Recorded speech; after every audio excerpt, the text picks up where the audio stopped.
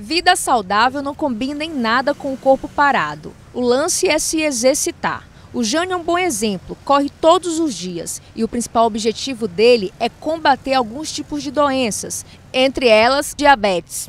Na minha família tem, já tem, é, tem pessoas que têm é, o problema, mas eu até hoje, graças a Deus, ainda não, ela não veio na minha direção, né?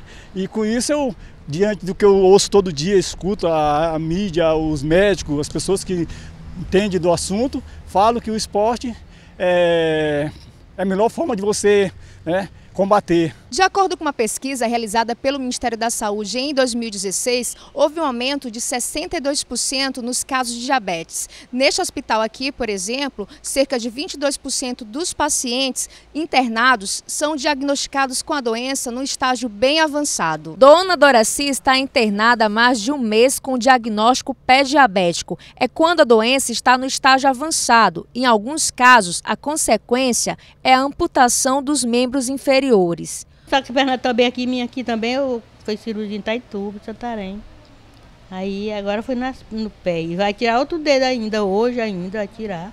O secretário municipal de saúde alerta para o trabalho de prevenção com programas ofertados na prática esportiva e segurança alimentar. São uma série de programas desde a base. Nós temos o NASF, né, que trabalha com atividade física, que trabalha com acompanhamento. Nós temos o Hiperdia, que é um programa que a gente doa para quem já é insulina dependente, a insulina, o glicosímetro com as fitas para ficar fazendo esse monitoramento.